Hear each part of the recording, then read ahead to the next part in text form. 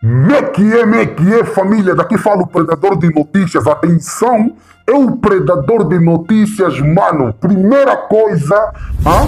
primeira coisa, se inscrevam no canal, família. Ativa as notificações, compartilha esse vídeo em todos os grupos de WhatsApp, Facebook e qualquer rede social, ok? E você também, internauta, passa a deixar seus comentários, tá a ver? Ou deixa like também para nós vermos se o conteúdo que nós estamos levando para vocês é de melhor qualidade, ok? Eu quero sugerir também uma cena para vocês, uma coisa simples, uma coisa top, uma coisa top, top, top, top. Vai na descrição do vídeo, tem lá o link do Instagram do Predador de Notícia, o link do Twitter do Predador de Notícia e o link do Instagram do canal MSTV, a TV, que vocês sabem chega até você e que não vos bajula, ok, família? Então, sem mais delonga, sem mais blá blá blá, vamos para o que interessa. Polícia Nacional espancam mulher grávida. Isso e muito mais você acompanha aqui agora no canal MSTV, a TV que chega até você, a TV que não bajula você, manega. A 3 de maio do corrente ano, por volta das 19, o cidadão Araújo Manjor, professor e residente no bairro Assaca, na cidade do Sumbe, província do Kwanza Sul, foi chamado por via telefónica pela sua cunhada, a fim de auxiliá-la em algumas atividades domésticas, no vizinho bairro Américo Boa Vida, por sua incapacidade ao realizar determinadas tarefas pesadas, já que a mesma teve recentemente parto cesariano. Ao regressar à sua residência, Araújo Major foi abordado por agentes da Polícia Nacional, que, junto de outros cidadãos, foi levado à esquadra do Comando Municipal da Polícia do Sumbe, onde foi surrado com porretas. Eis o relato dos fatos nas palavras do próprio. No passado dia 3 de maio do corrente ano, pelas 19, eu fui chamado, por via telefónica, pela minha cunhada, a fim de auxiliá-la em algumas operações correntes em sua casa, no bairro Américo Boa Vida desta cidade do Sumbe, pois ela apresenta limitações ao realizar determinadas tarefas pesadas, já que teve parto cesariano há pouco menos de duas semanas. A tarefa de cuidá-la sempre esteve a cargo da sua prima irmã que, na altura, não se encontrava na residência, pelo que me senti na obrigação de atender ao seu pedido, já que a minha residência, que fica no bairro Assaca, localiza-se a poucos metros da sua residência. Por volta das 21h30, eu voltava para a minha residência quando, na estrada, vi-me cercado por dois carros patrulha da Polícia Nacional, que me abordaram e, a seguir, com tom de arrogância, questionaram-me de onde vinha e para onde ia. Respondi-lhes que vinha de prestar auxílio à cunhada e voltava para casa. Sem que eu tivesse terminado de responder, um dos policiais orientou, ordenou, que eu me voltasse ao chefe que parecia ser o chefe da operação. Este questionou-me se eu não sabia que era proibido circular na rua naquelas horas. À medida que eu justificava a minha presença na rua, os agentes cortavam-me o direito de me explicar e, não tardou, mandaram-me subir no carro patrulha, aonde já se encontravam cerca de seis cidadãos, que pareciam ter sido detidos no bairro Estaleiro, de onde vinham. Consciente de que não podia reclamar perante uma ordem policial sob pena de incorrer em desacato, entendi subir na viatura e ao mesmo tempo tentar explicar que a casa de onde eu saíra estava localizada exatamente a nove metros do local onde estava a ser detido. Convidei os agentes, dois ou três, a fim de que me seguissem para que constatassem e louco a veracidade da minha justificação. Mas eles não queriam saber, alegando que eu estava a sair do local à procura da namorada.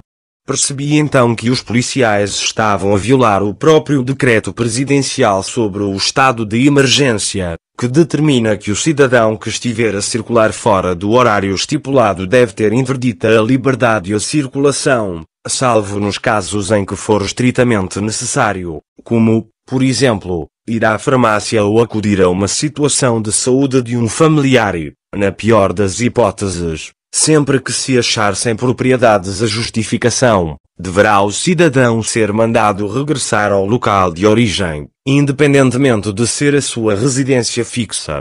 Mas tal não aconteceu comigo. No percurso até à esquadra do Comando Municipal da Polícia Nacional do Sumbe, o corpo policial fez a detenção de uma jovem que se encontrava aparentemente em frente da sua casa, no bairro Osaka, em estado de gestação, mas visivelmente ébria, e, mais adiante, um senhor que se encontrava parado na rua, Mandaram-nos descer da viatura após termos chegado à esquadra. A seguir puseram-nos a todos em fila para que entrássemos numa sala de triagem, onde seriam tirados os nossos dados. Mas, de repente, os agentes começaram a discutir sobre se teriam de surrar-nos com porretes ou não, uns alegando que, se os primeiros foram porreteados, nós também tínhamos de ser surrados e que essa medida fora dada pelo chefe, e outros defendendo ponderação. Daí eu comecei a trocar palavras com eles, no sentido de informá-los de que essa medida estava incorreta e era inconstitucional, e que, sobretudo, era um autêntico disparate bater nas pessoas por circularem fora do horário previsto pelo estado de emergência.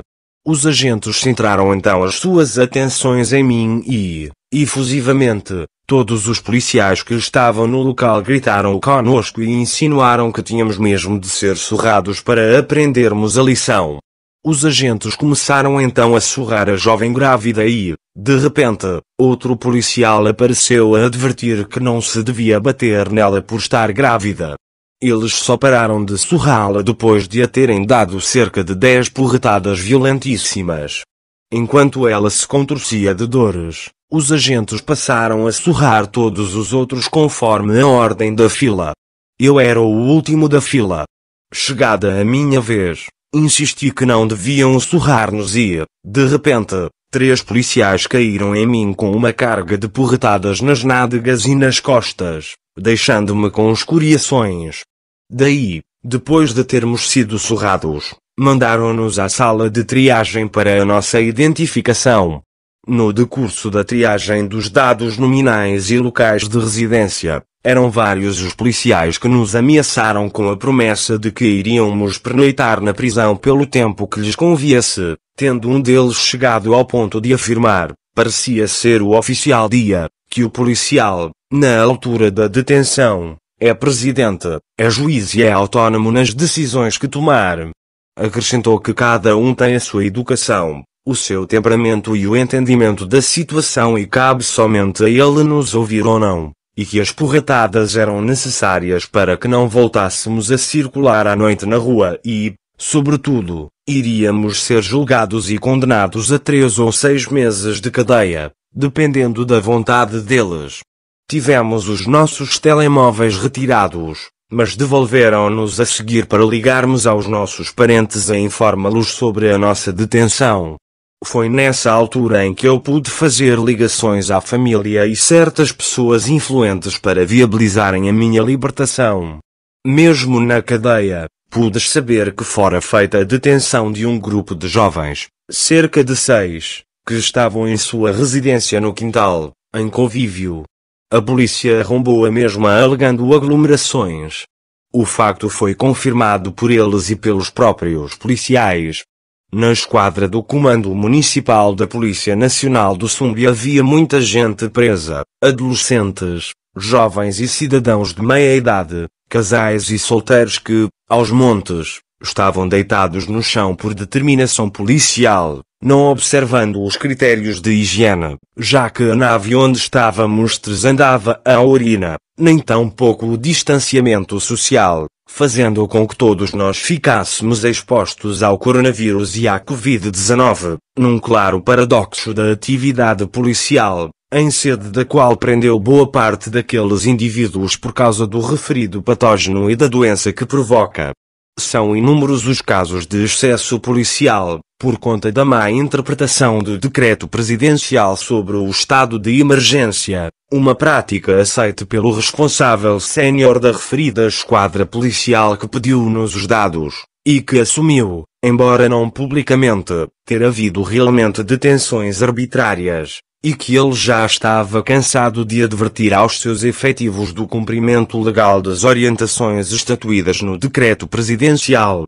Então, família, o vídeo de hoje foi esse. Se você curtiu, mamene, não esqueça de deixar seus comentários, ok? De você curtir o vídeo e compartilhar com todos teus amigos no WhatsApp, Instagram, Facebook, ok? Todas as redes sociais. Compartilha o vídeo porque isso nos ajuda bastante, porque isso também é notícia. Você até pode ficar bem mal chateado, falando, ah, isso não é notícia, predador de notícia. Mas sim, é notícia, porque você não sabia. Estás a saber aqui a partir do canal MSTV, a TV que chega até você, a TV que não bajula você. Ok, família? Então, sem mais blá blá blá, nos vemos no próximo vídeo, ok?